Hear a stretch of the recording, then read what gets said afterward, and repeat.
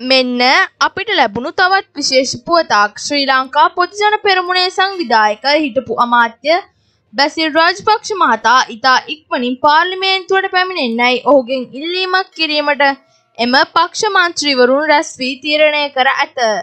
පාර්ලිමේන්තු මන්ත්‍රී ප්‍රමිත බණ්ඩාරු තෙන්නකෝන් මහතාගේ නිවසේ ඊයේ පස්වරුවේ විශේෂ සාකච්ඡාවකදී මෙම තීරණය ගෙන ඇත. කෙසේ වෙතත් එහිදී ඉන්ධන මිල අඩු කිරීම හෝ භාණ්ඩ මිල අඩු කිරීම සම්බන්ධයෙන් බැසිල් රාජපක්ෂ මහතාට මැදිහත් වෙන්නයි ඉල්ලීමක් කිරීමට සාකච්ඡා නොකළ බව පාර්ලිමේන්තු මන්ත්‍රී තිස්ස කුට්ටිආරච්චි මහතා සඳහන් කරයි.